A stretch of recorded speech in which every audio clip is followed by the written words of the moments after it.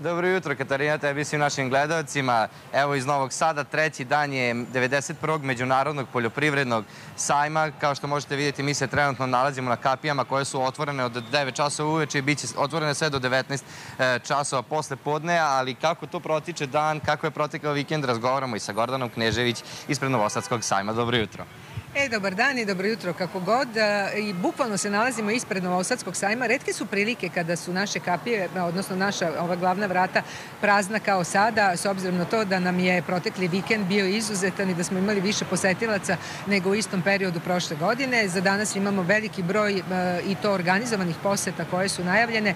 Danas je praktično i prvi poslovni, pravi poslovni dan na Novosadskom sajmu. Očekuju se i brojne delegacije, što poslovne, što zvanične delegacije koje će stići i do našeg generalnog direktora, ali i naravno svi oni koji su zainteresovani za poljoprivredu sa koje god strane da je pogledaju.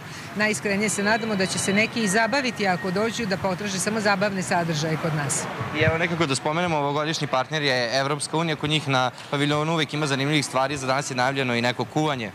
Jeste, oni su kuvali i juče, kuvaju danas i kuvaće i narednih dana. Danas bi trebalo gospodin Žiofrej sam da kuva, potom i ambasador Češke.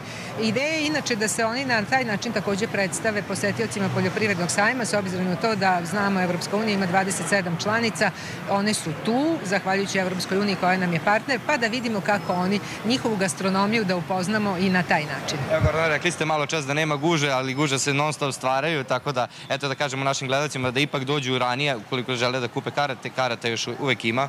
Da, rekla sam, bile su to zaista redke prilike, karata ima. Koliko god ima oni koji su zainteresovani da dođu na poljoprivredni sajam, ono što možda može da bude problem e, prilikom dolaska ovde kod nas jeste parking prostor. Novosadski sajam ne posjeduje svoj parking prostor. Dakle, taj prostor koji se nalazi u krugu Novosadskog sajma ima ograničen broj mesta.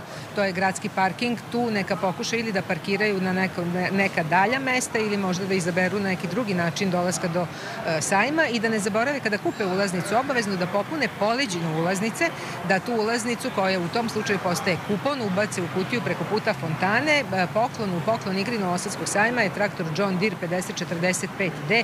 Mi ćemo na dan stočara 23. maja, koji je ujedno i poslednji dan poljoprivrednog sajma, u 17 časova izvući jedan od tih kupona i saznati ko je vlasnik tog traktora. Upravo tako, to smo i tali da spomenemo kad smo već pričali o kartama i naravno da poželimo sreću svim e, posetiocima sajma držimo šipke svima, nažalost ne mogu svi da dobiju traktor, ali sam sigurna da će svi poneti bar nešto lepa u krajnjoj liniji uspomene sa Novosadskog sajma i sa poljoprivrednog sajma. Hvala vam puno Gordana što ste govorili za naš program. Hvala vama i dođite nam opet. Pa ćemo sigurno. Eto, dragi gledalci, čuli ste šta vas sve očekuje na poljoprivrednom sajmu danas, u narednim danima. Okušajte svoju sreću u nagradnoj igri i požurite na Novosadski poljoprivredni 91. međunarodni poljoprivredni sajam. Sigurno ćete se zabaviti i saznati neke nove stvari u poljoprivredi i uživaćete ovde u Novom Sadu. Toliko za sada iz Novog Sada studio.